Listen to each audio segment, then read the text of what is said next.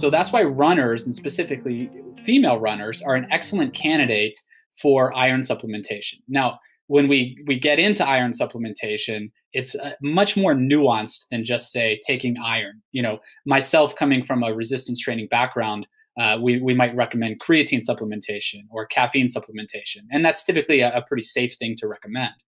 With iron, it's not always a safe thing to recommend. So I think it needs to be careful. But that's the basic physiology the transport of oxygen from the lungs to the muscle tissues. Uh, but understanding if you have low iron, iron itself is needed to replenish iron. So it's difficult to, to be able to uh, uh do that process. Yeah, it sounds like it's um, if you have low iron, it can be quite a tough cycle to break out of. Is is that true, Sara?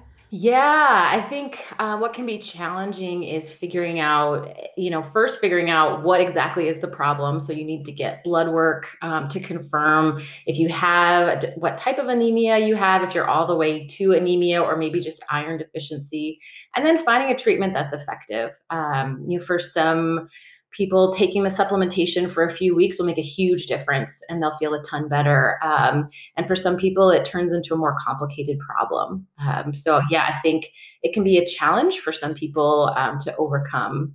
Yeah. Well, I mean, what are the symptoms of low iron? Because, you know, we're runners we get tired because we run you know? So how do we know it's not i just ran too much and i'm just tired from overtraining or just had a rough day at work you know? How, how do what are the symptoms that kind of um, are hallmarks of iron deficiency i think runners in particular will notice this before people who aren't usually running because you'll know whatever's normal for you. So, on an easy run, you'll have an idea of what your typical pace is, and you'll have an idea of how you feel on your usual runs. And um, when you become iron deficient, you'll notice, wow, this run used to be super easy, and now I'm exhausted. Um, you should feel like on a typical run, it feels totally different. Um, in that, especially things like if you have one bad day, runners have bad days all the time. That's very normal. But if you feel like day after day, you're just really feel like you're dragging and you start to question, am I out of shape? Like, I didn't think I was out of shape. Um, you know, that kind of thing really is indicative. Um, feeling fatigue, weakness, sometimes dizziness.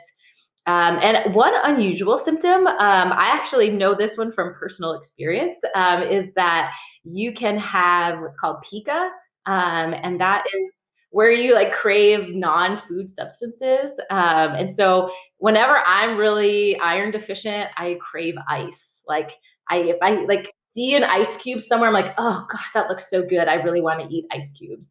And so that's always my like, oh, I gotta go get my blood tested. It's time to go look at my iron because um, I happen to have that symptom when I'm iron deficient.